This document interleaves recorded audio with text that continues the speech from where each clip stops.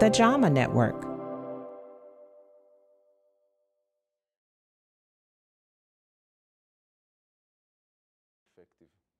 Peter Hildebrand's replacement heart valve is leaking. The valve is sitting here and the fluid is going below it. My energy level went way down, and especially my breathing.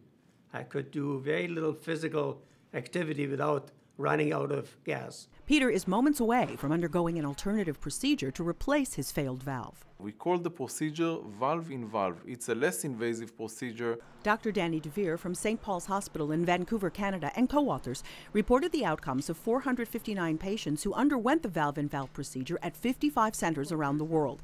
This involves attaching the new valve to a catheter which travels up an artery.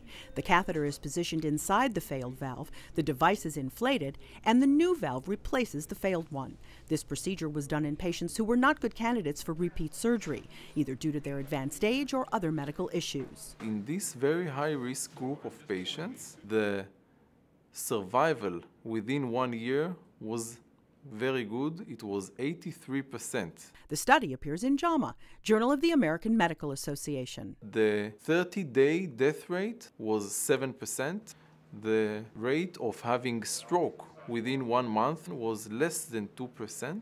Right now, I feel, I think, pretty good. In the patients that survived the procedure, 93% felt very well. Remember how Peter's valve was leaking before the procedure? Now it's not.